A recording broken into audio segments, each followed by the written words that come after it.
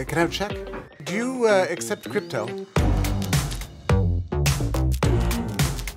You know, you might be thinking, look, it sounds like the greatest stuff ever. If that was so great, why wouldn't everybody be using it? I agree. I mean, sometimes you look at it and think, why isn't the future here yet? You know, give us five years, give us 10 years. I think it's going to be all over the world. You can choose a thousand different coins and they can all trade with each other. It's a new way for us to exchange value and bring us together as a, as a world community, peer to peer.